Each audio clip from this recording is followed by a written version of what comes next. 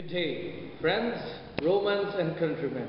Today, we, the Group 5, will help you unlock and discover hidden truths about Philippine curriculum and its foundations. Now, why is it necessary for a person to know the history of something? Bakit pinagpipilitan ba sa atin na malaman ang kasaysayan ng isang bagay? Tulad na lamang ng panliligaw. Kinakailangan mong makilala ng lubusan kung ano ang mga naganap sa nakaraan sa buhay ng iyong nililigawan. Bakit? Para mas makilala mong lubusan ang taong iyon. Gayon din sa Philippine curriculum.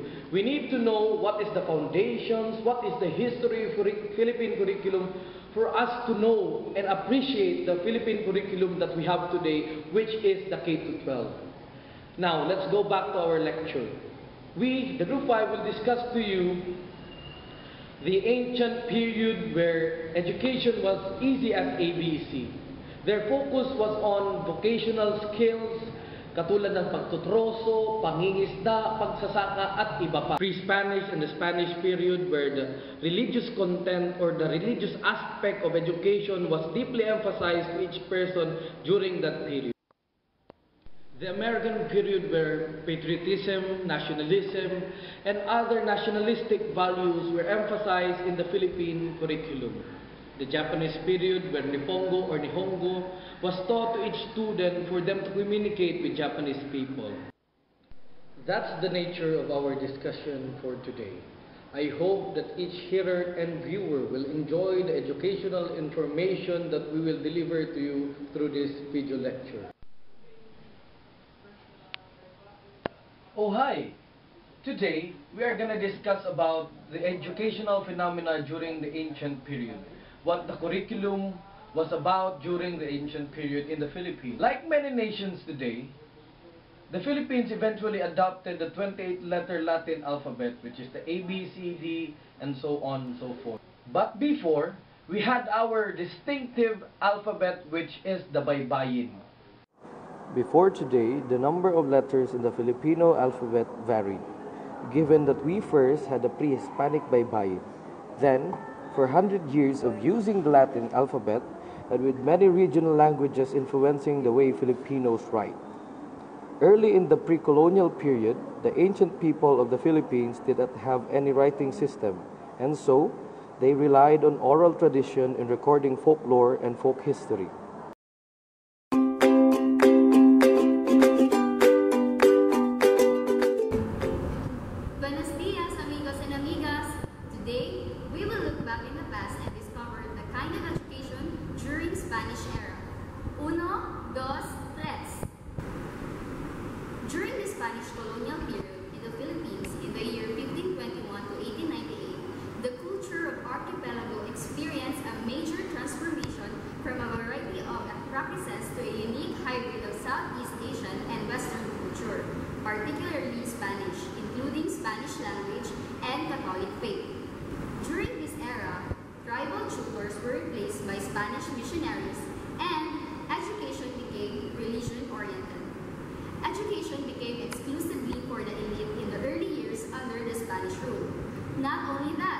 Education became accessible to Filipinos with the enactment of the Educational Decree of 1863. And what's in this decree? You will know later as we go along with this topic. So keep calm and enjoy learning. The educational system of the Philippines during the Spanish times was found. The religious congregations paved the way in establishing schools from the primary level to the tertiary level of education. The schools focused on the Christian doctrines. There was a separate school for boys and girls. The wealthy Filipinos or the ilustrados were accommodated in the schools. Colonial education brought more non-beneficial effects to the Filipinos. There was also Educational Decree 1863, the first educational system for students in the country. This decree was established by virtue of the Education Decree of 1863. In furtherance, the decree required the government to provide school institutions for boys and girls in every town. As a consequence, the Spanish schools started accepting Filipino students. It was during this time when the intellectual Filipinos engaged. The normal school was also established, which gave men the opportunity to study a three year teacher education for the primary level. So, have you learned a lot? Truly, Spanish education played a major role in that transformation. The oldest universities, colleges, vocational schools, and the modern public education system in Asia were created during the colonial period. And by the time Spain was replaced by United States, the colonial Filipinos were among the most educated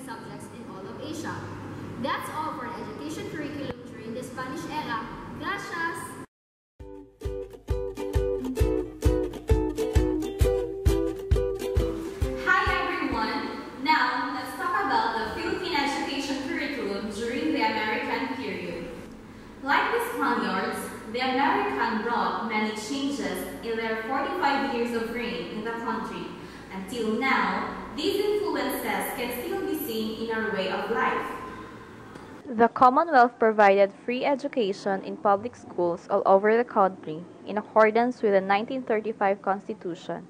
Education also emphasized nationalism, so the students were taught about the life of the Filipino heroes. Vocational education and some household activities like sewing, cooking, and farming were also given importance. Good manners and discipline were also taught to the students. The Institute of Private Educational goal during the American period is to promote democratic ideals and way of life, formation of good citizens, including the rights and responsibilities of people. Education Act of 1901 laid the foundation of the Philippine public school system. In August 1901, 600 teachers are called Thomasites arrived. English was made medium of instruction. The curricular structure and programs were patterned from the US. There were three levels of education, which are elementary level, secondary or high school level, and college or tertiary level. There were also new subject areas that were introduced. Religion was not included in the curriculum of the schools. Normal, vocational, agricultural, and business schools were also opened. Schools were also built in non Catholic areas like in Sulu, Mindanao, and in Mountain Province. Education under American colonization led to a widespread Americanization of the Philippines. Through education, Americans had influenced many Filipinos in terms of what they like, eat, culture, and demand on westernized products and lifestyle. During the American period, there were also benefits and anticipated outcomes. The first one, the spread of providing public education. It is known that US spread-headed more aggressively the provision and delivery of schooling paid by public coffers to unheard of areas of the archipelago. During the US occupation, it became fashionable to go to elementary and high school, and for the same to go to college. This generally introduced the hazy idea behind spreading enlightenment to majority of the populace which up to now continues. The second one is the introduction of the concept of press freedom, which still continues in the country through not a few journalists and media practitioners have died in the course of duty lately. Consequently, and up to now, there's particularly no other country, at least Asia, that may be described as having a free media than what can be seen in the Philippines.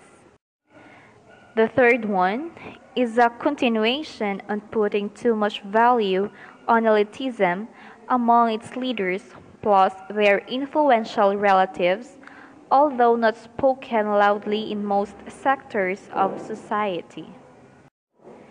The fourth one, The collaborative and dependent tendencies of the national Philippine government with the U.S. government in certain areas of governance have always been noted and observed, especially viewed by outsider. The Philippines continues to be a solid ally of the U.S. in Asia in many years, even up to these days, which gives some people strong ideas that it's still colony up to now. Fifth, most American cultural effects continue to be felt and followed in practically the whole Philippines.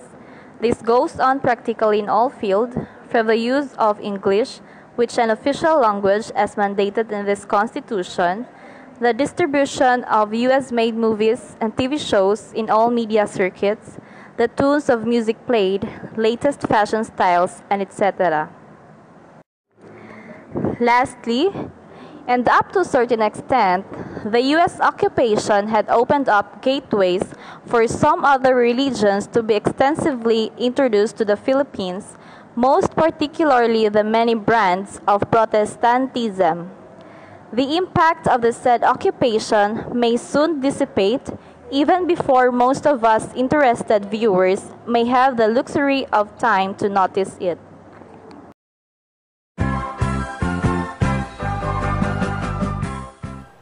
The educational system in the Philippines had undergone various stages of development. These stages of educational evolution can be traced way back from the pre-Spanish period to the Spanish period to the American period to the Commonwealth and to the Japanese period going to the present. According to the history, the Philippine education had manifested in the culture by the people. However, there are no definite records that were available showing the types of school that established by the natives, as well as the subjects and the methods that they use. Let's go to the brief history of Philippine education during the Japanese period. Pearl Harbor was attacked by the air fleet of Japan. Ten hours later, the Philippines was invaded by Japan. The Japanese occupation happened in 1942 to 1945. The Empire of Japan occupied the Commonwealth of the Philippines during World War II. In the year 1942, the Military Order No. 2 was established. Japanese educational policies were embodied in the Military Order No. 2. Philippine Executive Commission established the Commission on Education, Health, and Public Welfare. Schools were opened in June 1942 with 300,000 students.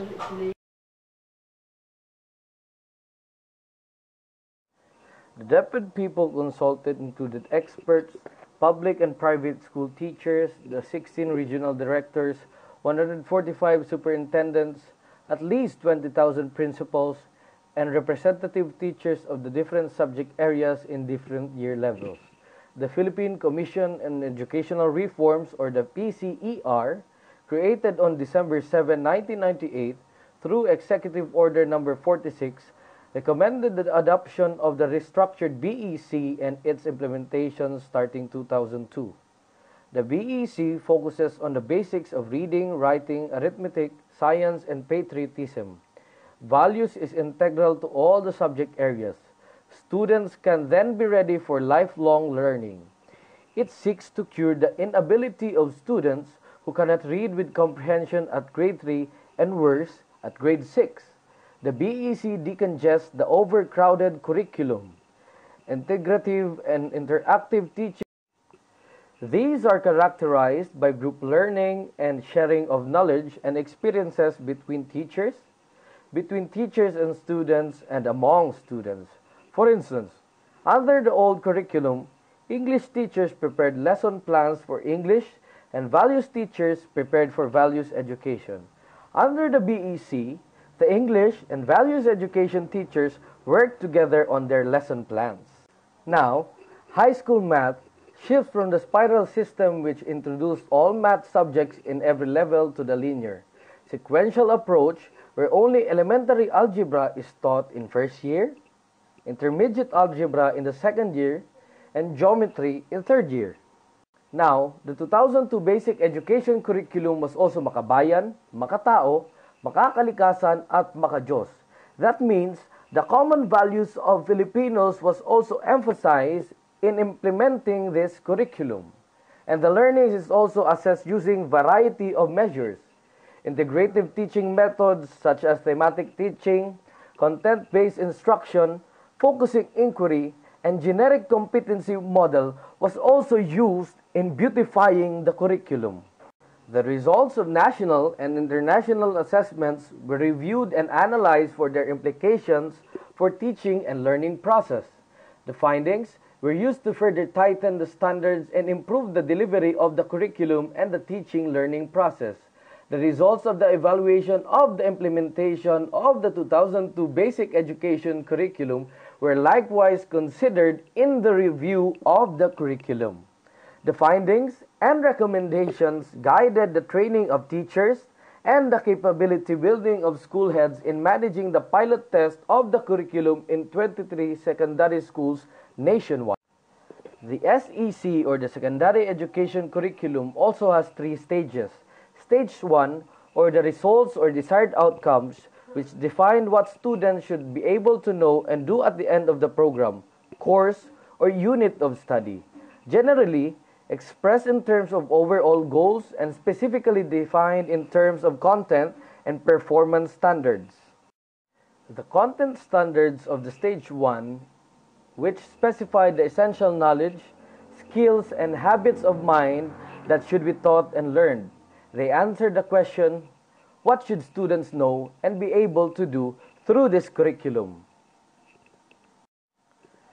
Performance standards which express the degree or quality of proficiency that students are expected to demonstrate in relation to the content standards. They answer the question, how well must students do their work? Or at what level of performance would a student be appropriately qualified or certified in doing a certain task? Another important part of the stage 1 of SEC is the essential understandings which are the big and enduring ideas at the heart of the discipline, and which we want the children to remember even long after they leave school. Another part of the SEC Stage 1 is the essential questions, which are open ended, provocative questions that spark thinking and further inquiry into the essential meanings and understandings of a matter or a subject matter. And finally, curriculum objectives, which are expressed in terms of knowledge and skills that teachers can use as guide in formulating their own classroom objectives. People often assess or evaluate everything they do in life for them to know what is the end result or the effects it brings to their lives. That's why, just like in this curriculum, assessment is very important assessment, which defines acceptable evidence of students' attainment of desired results, determines authentic performance tasks that the student is expected to do to demonstrate the desired understandings, and defines the criteria against which the student's performance or products shall be judged. Products and performances, which are the evidence of students' learning and a demonstration of their conceptual understanding content and skill acquisition. Just like in our regional courts, a case without evidence or proof will be considered irrelevant. Just like the learning of the student, it must have a evidence or a proof for the evaluators to know if the curriculum has succeeded or failed. The learning plan, which is the last stage of SEC, the learning plan which details the instructional activities that students will go through to attain the standards. Instructional activities which are aligned with the standards and are designed to promote attainment of desired results. As conclusion to the BEC and the SEC, it yearns for one learner or one Filipino student to attain maximum intuition, maximum cognition and maximum understanding of the whole curriculum. Because no curriculum will seek for a student to know nothing. It will always seek for the student to attain greater heights for him to have academic advancement. that is also one of the corollaries of educators, implementors, curriculum designers, curriculum planners, curriculum evaluators, and the DepEd itself is to advance the academic structure of Philippine education. Expounding the thought of modern curriculum, the expansion in the availability of education was not always accompanied by qualitative improvements. Therefore, quality became a major concern in the 1970s and early 1980s. Data for the 1970s show significant differences in literacy for different regions of the country and between rural and urban areas. Western Mindanao region, for example, had a literacy rate of 65% as compared with 90% for Central Luzon and 95% for Metro Manila. A survey of elementary school graduates taken in the mid 1970s indicated that many of the respondents had failed to absorb much of the required coursework and revealed major deficiencies in reading, mathematics, and language. Performance was poorest among respondents from Mindanao and only somewhat better for those from the Visayan Islands. Other data revealed a direct relationship between literacy levels, educational attainment, and incidence of poverty. As a rule, families with incomes below the poverty line could not afford to educate their children beyond elementary school. Programs aimed at improving work productivity and family income could alleviate some of the problems in education, such as the high dropout rates that reflected, at least in part, family and work needs. Other problems, such as poor teacher performance, reflected overcrowded classrooms, lack of particular language skills, and low wages. These problems, in return, resulted in poor student performance and high repeater rates and required direct action. In 1990, the education system offered six years of elementary instruction followed by four years of high school. Children entered primary school at the age of seven. Instruction was bilingual in Filipino and English although it was often claimed that English was being slighted. Before independence in 1946, all instruction was in English. Since then, the national language, which is Filipino, has been increasingly emphasized. The Enhanced K-12 Basic Education Program. Now, what is K-12? K-12 means kindergarten and the 12 years of elementary and secondary education. Kindergarten refers to the five-year-old cohort that takes a standardized kinder curriculum.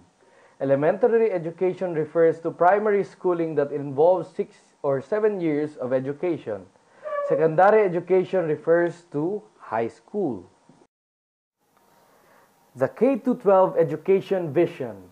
Graduates of Enhanced K-12 Basic Education Program will acquire mastery of basic competencies, be more emotionally mature, be socially aware, proactive, involved in public and civic affairs, be adequately prepared for the world of work or entrepreneurship or higher education, be legally employable with potential for better earnings, be globally competitive, and every graduate of the enhanced K-12 basic education program is an empowered individual who has learned through a program that is rooted on sound educational principles and geared towards excellence, the foundations for learning throughout life, the competence to engage and work and be productive, the ability to coexist in fruitful harmony with local and global communities, the capability to engage in autonomous critical thinking, and the capacity to transform others and oneself.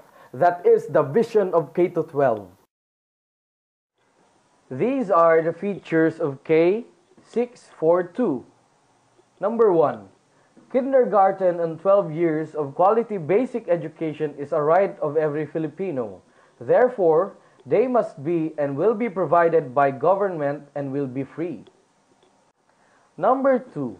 Those who go through the 12-year cycle will get an elementary diploma for 6 years, a junior high school diploma for 4 years, and a senior high school diploma for two years. Number three, a full 12 years of basic education will eventually be required for entry into tertiary level education. entering freshmen by school year 2018-2019. What is senior high school? Senior high school is two years of in-depth specialization for students depending on the occupation, career track they wish to pursue. Skills and competencies relevant to the job market. The two years of senior high school intend to provide time for students to consolidate acquired academic skills and competencies. And lastly, the curriculum will allow specializations in science and technology, music and arts, agriculture and fisheries, sports, business, and entrepreneurship. Now, I will present to you answers on the question, why do we need to add two more years of education in our curriculum? Here are the answers. To decongest and enhance the basic education curriculum and to provide better quality education for all. We all know that the Philippines is the only remaining country in Asia with a 10-year basic education program. K-12 is not new. The proposal to extend the basic education dates back to 1925. Studies in the Philippines have shown that an additional year for schooling increases earnings by 7.5%. Studies validate that improvements in the quality of education will increase the GDP growth by 2% to 2.2%. Minus 2 instead of plus 2 for those families who cannot afford a college education but still wish to have their children find a good paying job. Right now, parents spend for at least 4 years of college to have an employable child. In our model, parents will not pay for 2 years of basic education that will give them an employable child. In effect, we are saving parents 2 years of expenses. The plan is not plus two years before graduation but minus two years before work to inspire a shift in attitude that completion of high school education is more than just preparation for college but can be sufficient for gainful employment or career. Now, the conclusion of everything. Each academic phase, curriculum period did play a great part in making the curriculum we have today. Kung hindi po sila nagsikap sa paggawa ng magandang curriculum in the past, we will never appreciate, we will never have the greatness, the effectiveness, and the efficiency of our curriculum today. That is why we as future educators must know the holistic definition, the holistic description, the holistic knowledge of the curriculum for us to appreciate and be curriculum makers, curriculum planners, and designers in the future for the benefit of our society. We must also remember that curriculum is a part of education. And without the improvement, the innovation of education, the nation will not be as progressive, as economically growing as it is. That is why we, as students, as part of the society, must help in curriculum change, curriculum innovation, and curriculum improvement for the betterment of our nation, for the betterment of our world.